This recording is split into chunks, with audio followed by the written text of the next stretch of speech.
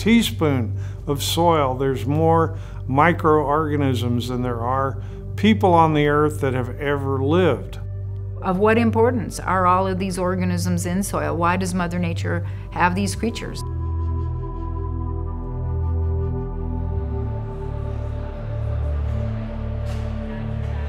Je suis extrêmement contente de la tenue du symposium. On donne pour une fois préséance à la valeur du sol et cette mise en valeur-là au sujet de leur fonction écosystémique est extrêmement, extrêmement importante. A healthy living soil will percolate and take water in, hold it, and then begin to get it to percolate down into the aquifers, regenerating sometimes springs and creeks and rivers. It would solve all of the atmospheric CO2 that we have too much of up here. If we were all farming regeneratively, it would all be taken back down and put into the soil. Climate change is completely linked to the importance of preserving biodiversity, and soil is an underpinning of both of those key directions. Healthy plants not only sequester carbon in the soil, heal ecosystems, and are more productive for farmers, they also produce crops that are more nutritious and flavorful and have the capacity to do what Hippocrates suggested, which is to let food be our medicine.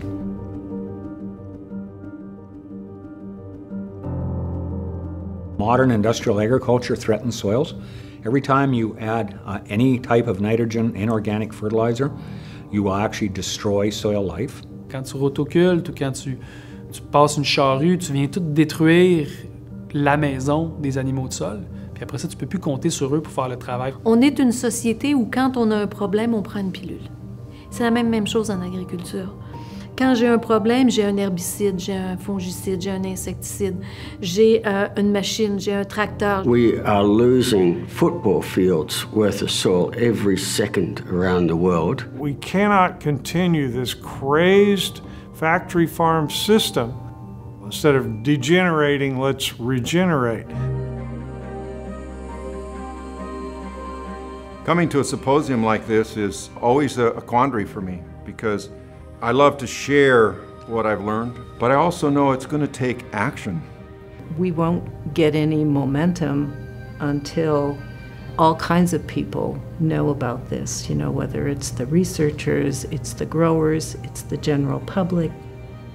I think it's wonderful that this deeper conversation is bubbling up at a time which appears to be cataclysmic.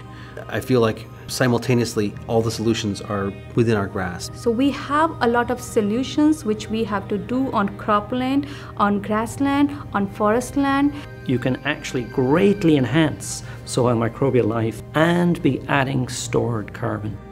We have to figure out systems of agriculture that stop tillage and when we start to get the microorganisms working underneath, then the amount of artificial purchased fertilizer, the requirements keep going down and down we can increase yields by 500% to 1,000% in our crops just by putting the proper biology back in.